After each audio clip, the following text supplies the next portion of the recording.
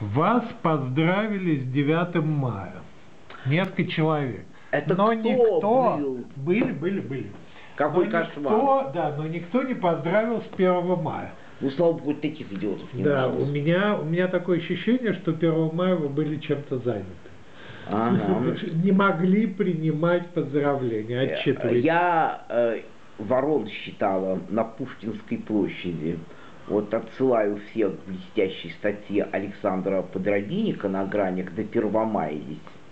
Мало того, что там, конечно, отметились все э, отвратные персонажи, иначе Капричус, э, Гоя бы просто дорого дал за такие модели.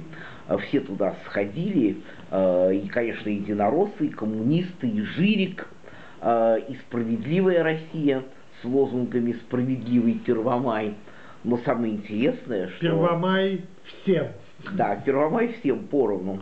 А, Что на многострадальной, как говорит Саша Подробинник, площади Пушкина выступила так называемая демократическая оппозиция. А, Вот э, программа Удальцова стала очевидна. А нечего было связываться, сами виноваты. Они этого Удальцова лелеяли, ходили с ним ку- куда-то, с Так вот программа-то какая? Это Шикарная понятно. программа. Он теперь от имени демократов, демократической оппозиции и несет всякую Наша чушь. инновация – социализм. Э, такая демонстрация против капитализма. Причем чем они занимались? Они сжигали портреты пресловутого Прохорова, э, Виксельберга, Абрамовича э, и обещали им, что они будут гореть в аду. То есть наш левый фронт еще и в Бога уверовал дополнительно. Это модно сейчас, и Зюганов верит в Бога. Если бы его пускали, он бы и на Пасху ходил к патриарху. Его Портретами. Сталина, прямо Да, к как патриарху. угодно. Ну вот, э, то есть все с этими ребятами понятно.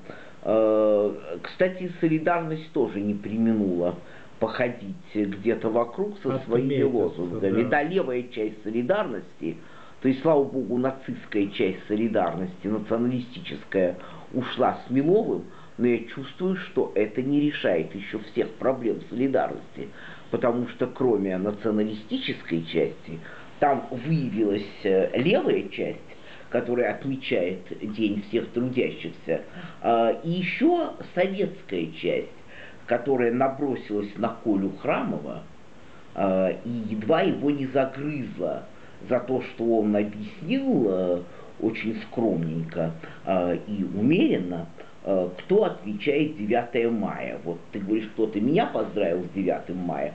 Я думаю, что это были не Заметь, ветераны Не войны. отвлекайся от 1 мая.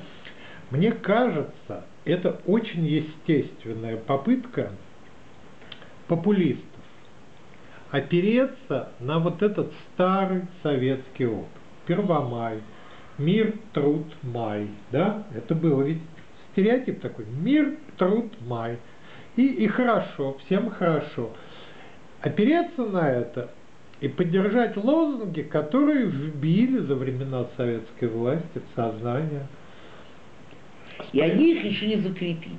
Ну, закрепить, не закрепить, но опереться во всяком случае. Для того, чтобы стать популярней. Для... Не очень понятно, как конкурировать в этих условиях с коммунистами, для которых это а, а, вот это и естественная позиция. Зачем они это делают? Неужели они думают, что они таким образом обманут кого-то?